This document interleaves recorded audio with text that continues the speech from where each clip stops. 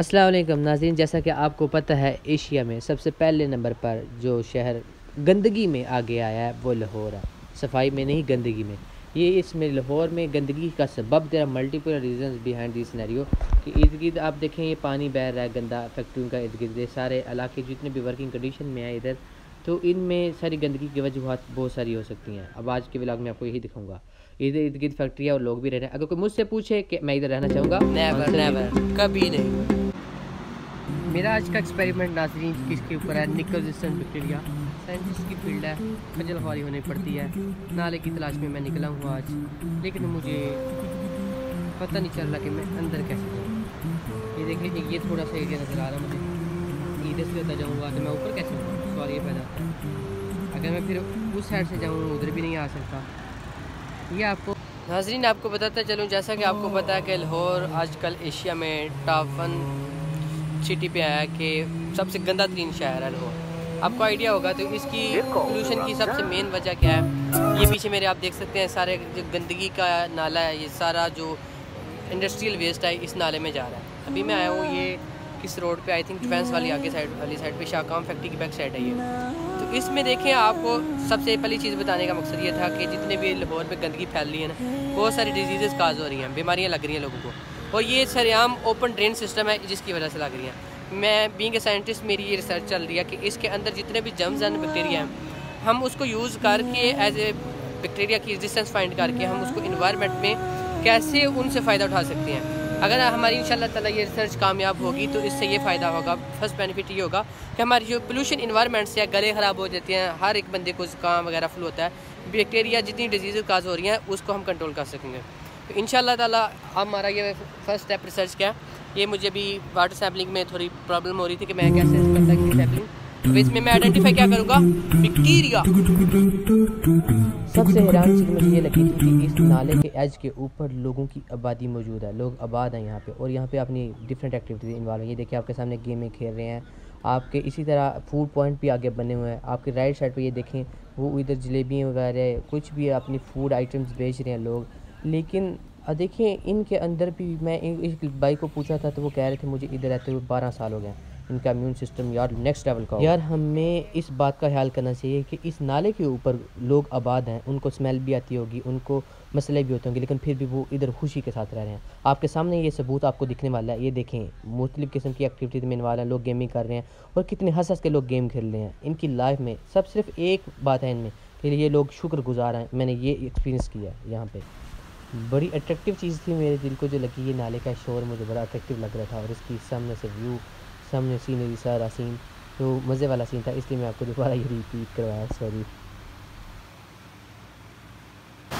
यार, काश मैं इसके अंदर जा सकूँ और इधर से सैंपल ले सकूँ वाटर लेकिन मैं जाऊँ कैसे? स्पाइडर मैन होता, अंदर मैं घुस जाता तो मैं अपनी सैंपल कर लेता। हाँ हाँ। यहाँ से मैंने पानी का सैंपल लेना था और उसमें से मैं रास्ता ढूंढ रहा था कि मुझे कहाँ से रास्ता मिले। तो डिफरेंट ट्राई की लेकिन मुझे रास्ता जी ये देखें। कितनी ऊँची खाई है। हाँ इसके ऊपर मैं चलाऊँगा ठीक है? वन टू थ्री गो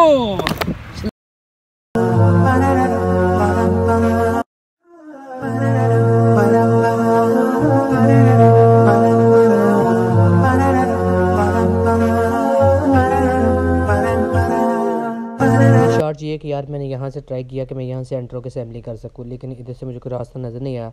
अब मुझे दूसरी साइड पे जाना पड़ेगा, वो ऊपर वाली साइड से असेंबली के लिए। लेट्स गो विद इन्होंने मुझे कहा है कि यार आप उधर से सैम्पलिंग करो जिससे मैं पहले सैम्पलिंग कर रहा था। लेकिन अभी भला क्या कहते हैं मुझे? उन्होंने ये कहा है कि कौन सा बूढ़ा है चढ़ वो पहाड़ी भी चढ़ चलो यार, अगर लोगों ने कहा है तो हम जो आने लग रहे हैं तो हम चले जाते हैं सैम्पलिंग की तरफ़। ये वाला रास्ता है, मैंने नीचे कैसे जाना? हम्म? कैसे जाना नीचे? इधर पाऊँ रुकूँगा तो ये स्लिपी आ जाए आए आए आए आए आए आए आए मेरे बूट बूट बूट मेरे शूट गंदे हो गए। आए हाय हाय मट्टे मट्टी हो जाए मेरे अंदर जैसे गया हाँ। अल्लाह अकबर। अल्लाह। ओ ओ स्लो बच्चे ओ स्लो। एक बात कहा याद रखना अपने हमेशा। जब आप आए पैर निकली होगी। जगह पे आओ। तो आप देखने में तो बहुत प्यारे प्यारे जी देखो मैं किधर आ गया वो मैंने सारा एरिया कवर कर लिया है। वो जो भी वैसे मैं कश्मीरी हूँ अलहमदिल्ला मेरे लिए पहाड़ के लिए मसला नहीं है। असल में इधर मैंने ना ये देखो, शूज़ पहने हुए थे अच्छे अच्छे तो यू नो कि मेरी सत्यानाश हो गया शूज़ का। इसको मैं अब साफ़ करूँगा घर जाके। तो यह देखो, आपके लिए हम मेहनत कर रहे हैं, साइंसदान। की दाढ़ी का भी खराब हो जाता है। साइंटिस्ट की वैल्यू आपको जानी चाहिए। साइंटिस्ट का मकसद होता है इन्वायरमेंट को प्रोटेक्ट करना। They call me.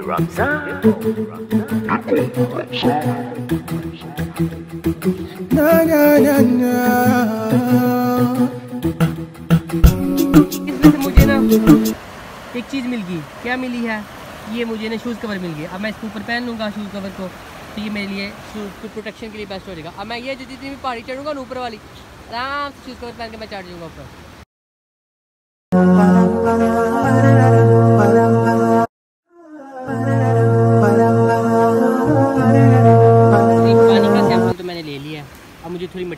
होती है।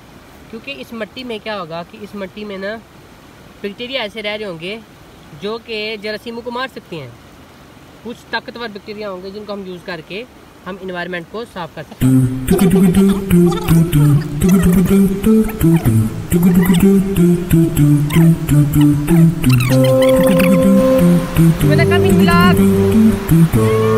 हाथ हिलाओ अपने। आप टीवी में आओगे, मेरे ब्लॉग में आओगे। आपका देखें यार, इनकी भी ज़िंदगी है। यार, आपको फ़र्स्ट एंड लास्ट मैसेज देने लगूँ, फिर उसके बाद हम वाइंड अप करते हैं अपनी ब्लॉगिंग का। मैसेज ये है कि यार, अब देखिए अब घर में आप अपनी बहन भाइयों को समझाया करें कि वेस्ट कम से कम क्रिएट करें। अपनी जो भी आप गंदा पानी हम वेस्ट क्रिएट करते हैं, फजूल में हम अपने घरों में से गंद निकालते हैं तो उसमें वेस्ट क्रिएशन बहुत कम करें, ठीक है? कुएँ में भी पीछे बच्चे हैं, वो कह रहे हैं, हमें कैमरे मिलाओ ये देखो यार। ये कैमरे में आना चाहते हैं। ओके मैं ऊपर आके आपको लाता हूँ ठीक है एक मिनट। सो so, यार आपको मैसेज है कि आप देखिए ये इन्वायरमेंट गंदा है। साइंटिस्ट कितना वर्क कर लेंगे इस इन्वायरमेंट को बचाने के लिए? साइंटिस्ट वर्क तो कर रहे हैं हमारी ए बी एम एसोसिएशन काम कर रहे हैं। लेकिन हम कितना इन्वायरमेंट को बचा सकते हैं जब आप लोग हमारा साथ नहीं दोगे? तो you should care of your environment being a good Muslim it's our responsibility कि हम अपने माहौल को साफ़ सुथरा रखें। चलिए हम आपको इन ताला मिलेंगे। इधर अभी सूरज ग्रूप होने वाला है तो अभी मेरी असर रहती है तो इन मैंने असर पढ़नी है। और ऊपर वो साइड पे मस्जिद भी है। तो लोग मुझे फ़र्स्ट टाइम घूर घूर के देख रहे हैं। ये पीछे सारा व्यू पता नहीं लोग क्या कह रहे हैं कि आप इस नाले में क्यों आए हो? तो रीज़न यही है कि हमने अपने इन्वायरमेंट को बचाना है, अपनी ज़मीन को साफ़ करना है, ठीक है?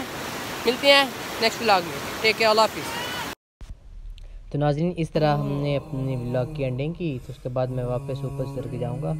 तो ये इन्वायरमेंट मुझे इतना अच्छा लगा इधर के लोग बड़े कोऑपरेटिव थे इतने मिलनसार लोग थे वो मतलब कि आपको हर बात पे स्टेप बाय स्टेप गाइड करने वाले लोग थे I am very happy to meet them